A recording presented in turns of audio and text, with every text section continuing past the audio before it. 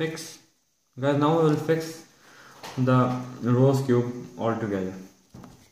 So as you can see these mm, parts these corners all are symmetrical to that grain so you first of all point the points outwards like that.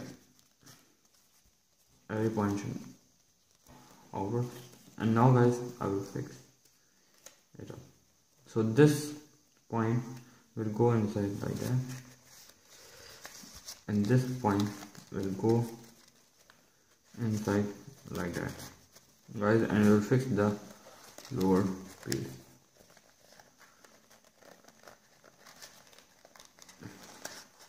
Like that.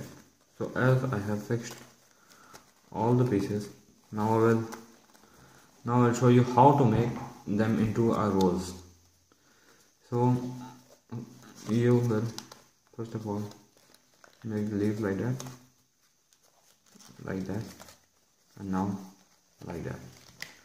And squeeze this point and this one together with your index and thumb finger like that.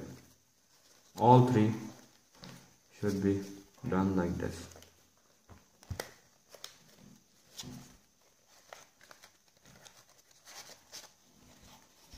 So now take this piece and pull it slightly outward by pushing the cube like this so that it remains in position. This comes out. This comes out guys make sure that our cube is should remain in the position and take it off. And now as I have completed my rose cube and you can see this is a very decorative and very stylish model. So guys thanks for thanks for watching my video. And if you like the video give a like. If you and subscribe to my channel if you want videos like this guys thank you very much for watching. Bye bye